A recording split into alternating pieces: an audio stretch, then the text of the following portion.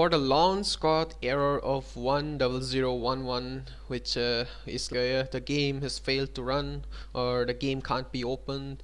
There are some other ways to fix that. We will go towards the easy anti cheat. We have to kind of like uninstall it and reinstall it and restart the, the PC and then maybe it's fixed. But still even though if it still doesn't work then we can try this way which uh, also solves the problem if it doesn't if it is not related with the easy anti cheat. If the easy anti cheat is nicely installed then we can try this way. So we'll just go and minimize it. Here is the Apex Legends icon. So we will just right click there open the file location there we are. Then all we have to do is just go to the installer double click it. Then we have your VC here will be VC 2010 service pack 1 and then 2012 update 4 and 2015 we will install from the Redist all of them. And after installing this 2012 update 4 we have to restart it restart the PC and then again we have to install the 2015 Redist 64 I have installed all of them so I'm not going to go through them again.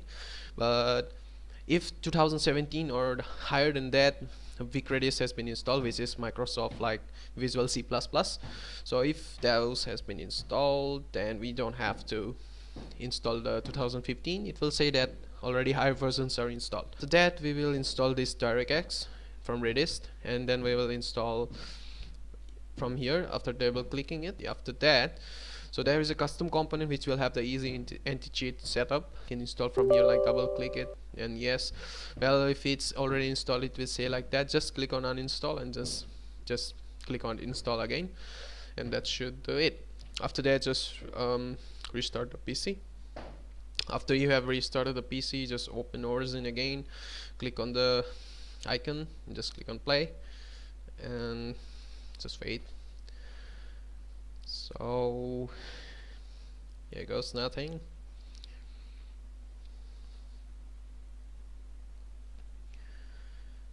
And